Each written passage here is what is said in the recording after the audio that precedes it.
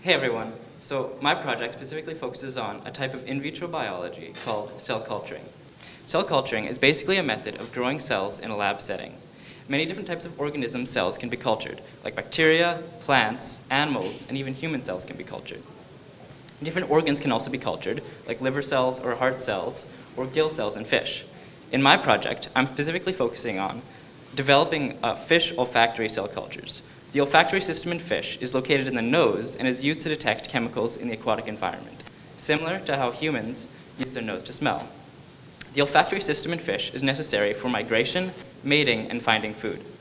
So, why am I and the rest of Lucy Lee's lab working with fish cells? Well, fish cells are relatively easy to culture, especially when compared to human cells. For example, human cells need to be kept at around 36 degrees Celsius, whereas fish cells can basically be cultured at room temperature. In my project, we attempt to create a primary cell culture from the nasal cavities of rainbow trout, and then to develop a procedure for creating these types of cultures that can then be replicated by future researchers.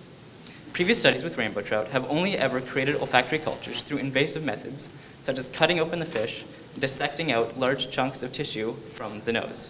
In my research, we are examining non-invasive methods of developing a cell culture, such as a nasal swab, which could more easily be performed on living fish. This would make it easier for future researchers to collect samples without needing to catch and fully dissect fish in their lab. Thank you everyone for your time.